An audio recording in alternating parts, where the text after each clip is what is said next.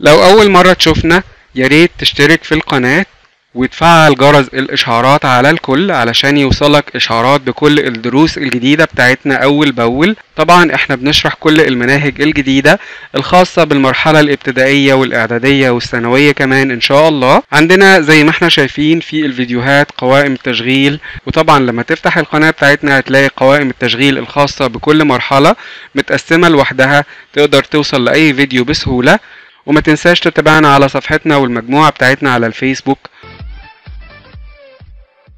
السلام عليكم ورحمة الله وبركاته. معاكم مستر حسام الصياد من قناة فلاش التعليمية. افهم وتعلم ببساطة. ازيكم يا اصحابي؟ النهاردة لسه بنكمل مع بعض شرح منهج Connect Primary 3 أو الصف الثالث الابتدائي term 2 الترم الثاني. ولسه بنكمل مع بعض شرح unit 7 where are you from? Where are you from? أو من أين أنت؟ وزي ما إحنا متعودين يكون معانا الكتاب وقلم ولو مش معانا الكتاب يكون معانا كشكول نكتب فيه ونذاكر منه. ويلا نبدأ. بسم الله الرحمن الرحيم. النهاردة معانا جزء مهم جدا وهو جزء خاص بال phonics أو بالصوتيات. Lesson 5 في unit 7 هنتعلم إزاي ننطق فيها حرف ال F لما يكون عندنا double F حرف ال F أو ال F letter يكون عندنا F F في كلمة من الكلمات وحرف L كمان لما يكون عندنا double L L L بننطقهم إزاي؟ وحرف ال S لما يكون عندنا double S بننطقهم إزاي؟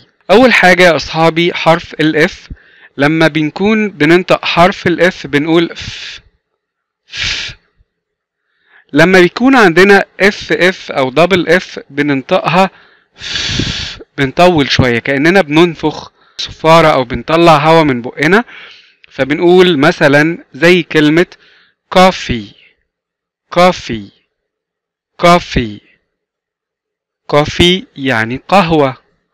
coffee coffee coffee زي كلمة muffin muffin muffin muffin يعني كعكة اسفنجية muffin muffin muffin وزي كلمة off off off off يعني مطفأ أو مقفل. مقفول يعني. off off off وزي كلمة police officer. Officer. Officer. Officer يعني ضابط. Officer. Officer. Officer. فلما بنيجي ننطق double f بننفخ كده كأننا بننفخ في من من بقنا بنطول في نطق ال f شوية صغيرة فبنقول f أما لما يكون عندنا double l l l بنطول فيها شوية بنقول ل ل ل. لساننا بيكون لامس سقف بقنا من جوه كده وبنقول ل. زي كلمة tall tall tall tall يعني طويل. tall tall tall تول يعني طويل. وزي كلمة دولار دولار دولار دولار يعني دولار. دولار دولار دولار دولار يعني دولار. وزي كلمة بل bell bell bell يعني جرس bell bell bell يعني جرس أما لما بنيجي ننطق double s s s يعني بن بيكون لساننا جوه قبل سناننا بشوية ونقول س س س زي كلمة glass glass glass يعني كوب زجاج glass glass glass كوب زجاج وزي كلمة dress dress dress dress يعني فستان dress dress dress dress يعني فستان. يبقى عندنا هنا النهاردة جزء مهم جدا في ال phonics. ال f f بنقول ف ف. زي officer زي off زي muffin زي coffee ال l l بنقول ال ال ال. زي كلمة tall وزي كلمة bell ال s s بنقول س. س. س. زي glass وزي dress عندنا كمان في الجزء ده حاجة مهمة جدا اسمها ال punctuation marks ال punctuation marks أو علامات الترقيم. إحنا عندنا حلقة على القناة مخصصة لعلامات الترقيم أو ال punctuation marks بتشرحها بتفصيل وبالأمثلة بشرح مفصل تقدروا ترجعوا لها وتشوفوها في الكورس بتاع القواعد وال phonics وهسيب لكم كمان ال link بتاعها في ال description أو في الوصف أسفل الفيديو. لو حابين ترجعوا لها هتفيدكم كتير قوي في شرح الجزء ده.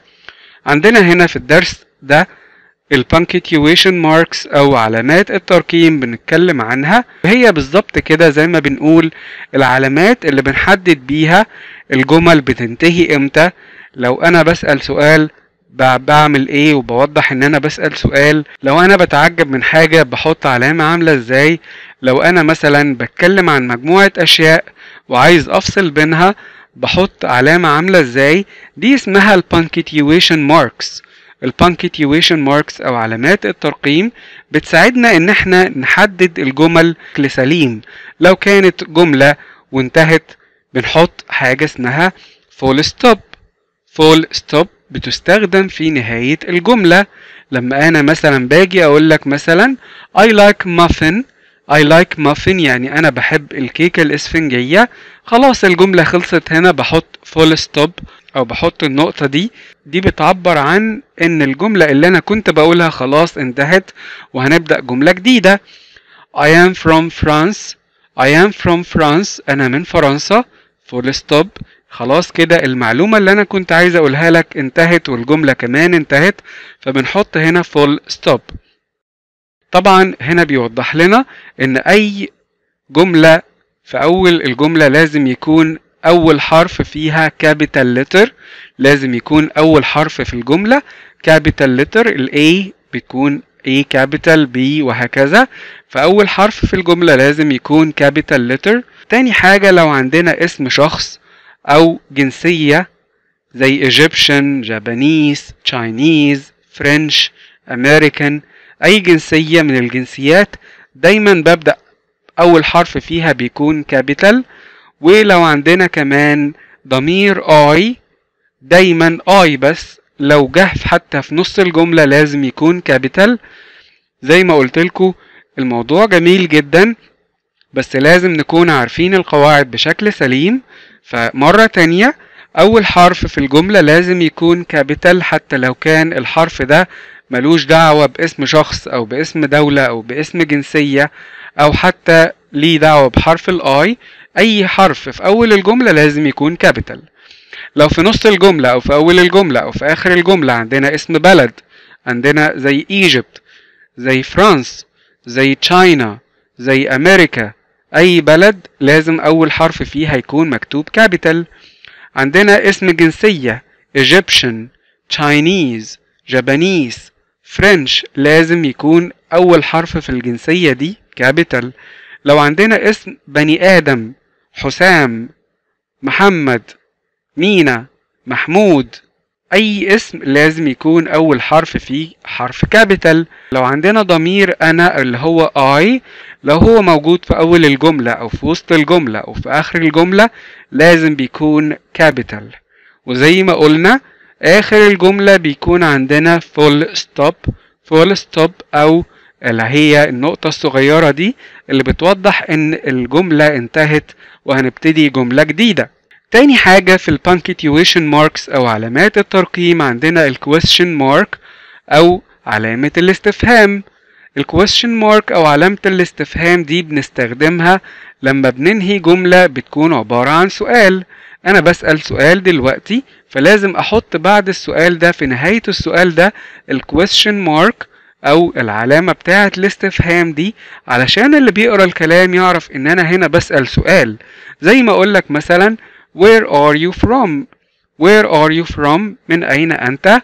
هنا في علامة الاستفهام أو ال question mark فدي بنحطها في عمل السؤال حتى اسمها question mark أو علامة الاستفهام زي ما قلنا من شوية تالت حاجة في عندنا حاجة اسمها ال exclamation mark ال exclamation mark أو علامة التعجب اللي هي العصاية الصغيرة الجميلة دي وتحت منها نقطة بستخدمها لما أنا بيكون عندي شعور قوي أو بتعجب من شيء ما.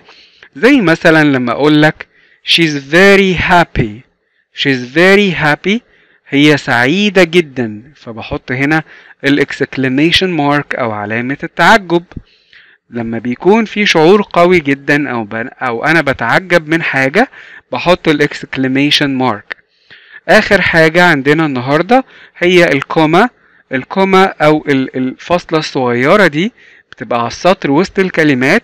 لما بتكلم عن مجموعة من الأشياء أو قايمة من الأشياء فأنا بفصل بينهم بال comma الصغيرة دي علشان خاطر أوضح لك إن أنا بتكلم عن لستة من مجموعة من الأشياء وأنا بفصل بينها دلوقتي تبقى عارف إن أنا بتكلم عنهم كلهم في نفس الجملة. زي لما أجي أقول لك I like chocolate comma ice cream comma pizza and cola. يبقى أنا بحب الحاجات دي كلها. أنا بحب الشوكليت بحب ال ice cream بحب البيتزا وبحب الكولا كمان. فهنا حطيت comma بين الحاجات اللي أنا بتكلم عنها لأن هي group أو list أو مجموعة من الحاجات أنا بتكلم عنها في نفس الجملة. فهنا بنحط ال comma بين الحاجات. آخر حاجتين ما بحطش بينهم comma بحط بينهم and. آخر حاجتين بحط بينهم and. لكن لو في لستة عندي بتكلم عنها في جملة واحدة وال listة دي متكونة من مجموعة من الحاجات بحط بين كل الحاجات دي comma. وفي الآخر خالص آخر حاجتين بحط بينهم and. يبقى زي ما قلنا من شوية دي ال punctuation marks أو علامات الترقيم. مهم جدا نحفظها ونعرف بنستخدمها إمتى. أول حاجة ال capital letters في أول الجمل أسماء الدول أسماء الجنسيات أسماء الأشخاص وطبعا حرف ال I اللي هو أنا. في أول الجملة أو في نصها أو في آخرها لازم يجي capital وال full stop أو النقطة بتاعة نهاية الجملة. وتاني حاجة عندنا ال question mark أو علامة الاستفهام بنستخدمها في نهاية أي سؤال.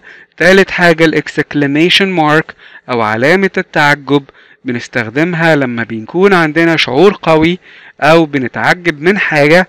رابع حاجة ال comma بنستخدمها لما بنكون بنتكلم عن مجموعة من الأشياء أو مجموعة من الحاجات موجودة في نفس الجملة وفي الآخر خالص آخر حاجتين بحط بينهم and زي ما قلنا من شوية. و lesson 6 يا أصحابي في unit 7 بيتكلم عن ال currency ال currency أو العملة. بيكلمنا عن الماني in other countries in other countries أو في البلاد التانية. الفلوس شكلها عامل إزاي في البلاد التانية؟ إزاي نقدر نحسب الماني أو الفلوس بشكل سليم؟ فبيقول لنا هنا pound pound يعني جنيه مصري. pound pound يعني جنيه مصري. piasters piasters يعني قروش. طبعا ال pound في 100 piasters أو 100 قرش. يورو لا اليورو عملة الدول الأوروبية. يورو ده اليورو بتاع الاتحاد الأوروبي. ين ين طبعا ده عملة اليابان. ين ين طبعا ده عملة اليابان. cent cent ده السنت الفرنسي عملة بيستخدموها في فرنسا. سنت سنت يعني السنت الفرنسي أو بيستخدموه في فرنسا.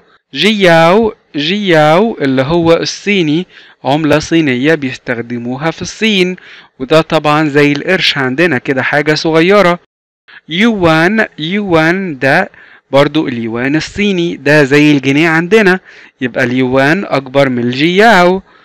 سنت سنت ده سنت أمريكي برضو ده شكل السنت الأمريكي. دولار دولار يعني الدولار الأمريكي.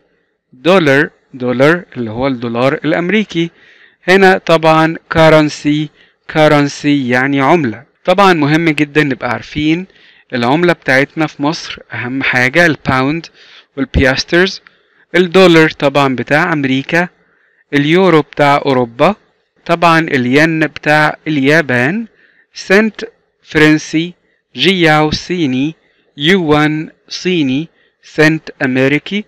ودي ال currencies أو العملات اللي إحنا بنتكلم عنها. طبعا عندنا هنا أصحابنا بيتكلموا عن ال currencies أو العملات وبيقولوا what is your money? What is your money? ما هي عملتك؟ إيه هي العملة بتاعتك? فهيكلمونا طبعا عن العملات في البلاد المختلفة. معلومات جميلة جدا هنعرفها النهاردة. فأول حاجة in my country Egypt صديقتنا دي من مصر هنا زينا. In my country Egypt في بلدي مصر. Our money is the pound. Our money is the pound. العملة بتاعتنا هي الجنيه. One pound is 100 piasters. One pound جنيه واحد is 100 piasters. هو بيساوي 100 قرش. طب صديقنا هنا طبعا ده من فرنسا. بيقول in my country in my country في بلدي فرانس فرنسا our money is the euro. العملة بتاعتنا هي اليورو. فرنسا طبعا هي بلد من بلاد أوروبا الاتحاد الأوروبي فالعملة بتاعتهم هي اليورو. 1 euro is 100 cent. 1 euro is is 100 cent. اليورو الواحد في 100 سنت. صديقنا هنا من تشاينا أو من الصين فهيكلمنا عن طبعا العملة بتاعته.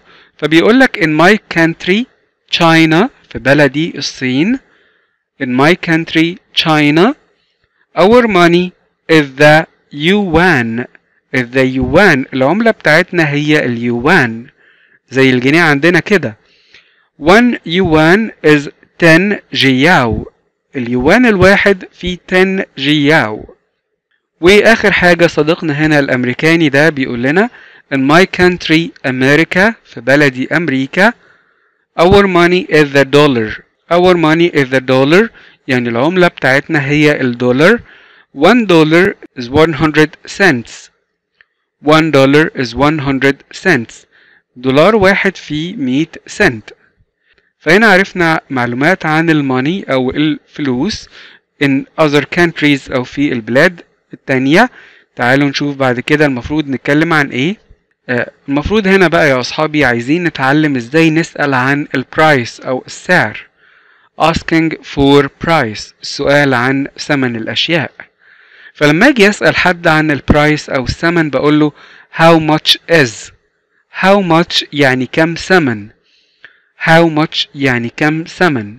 فهنا صديقتنا وصديقنا بيتكلموا مع بعض عن حاجة هما طبعا بيتكلموا عن سعر حاجة وهيسأل وهي بتسأل سعرها بكام. فهي بتقول له how much is it القايد دي بكام؟ اللي هي الطيارة الورق دي بكام؟ how much is it كام سعرها؟ فهو بيقول لها it's for 22 euros. it's for 22 euros إنها ب 22 يورو. لما أجي أرد على حد بيسألني how much is it مثلا بيسألني عن سعر حاجة بقول له it's for تمنها هو كذا. it's for يعني إنها تساوي كذا. لما أجي أسألك أقول لك أنت الحاجات اللي اشتريتها دي بكام؟ asking about things you bought. للسؤال عن الأشياء اللي أنت اشتريتها بالفعل. فبقول لك What did you buy ماذا اشتريت؟ أنت اشتريت إيه؟ What did you buy اشتريت إيه؟ ماذا اشتريت؟ فأنت هتقول لي I bought أنا اشتريت بقى خلاص bought الماضي بتاع buy في الماضي اسمها bought. I bought أنا اشتريت وبحط اسم الحاجة هنا. فهنا صديقنا بيسأل صديقتنا وبيسألها بيقول لها اشتريتي إيه؟ فبيقول لها what did you buy ماذا اشتريتي فبتقول له I bought أنا اشتريت doll عروسة. It was for 50 pounds. كان تمنها 50 جنيه. I bought a doll أنا اشتريت عروسة. It was for 50 pounds. كان ثمنها 50 جنيها. وبكده نكون أنهينا الجزء الخاص بالنهاردة. أتمنى إن أنتوا تكونوا استفدتم من الدرس. لو أعجبك الدرس اعمل like. أتمنى ألاقي ألف واحد استفادوا أو ألف like تحت الفيديو. ما تنسوش تتابعونا على صفحتنا على الفيسبوك والمجموعة بتاعتنا كمان. أنا سايب لكم ال links بتاعتها في ال description أو في الوصف أسفل الفيديو. وفي الختام أستودعكم الله الذي لا تضيع ودائعه. والسلام عليكم ورحمة الله وبركاته.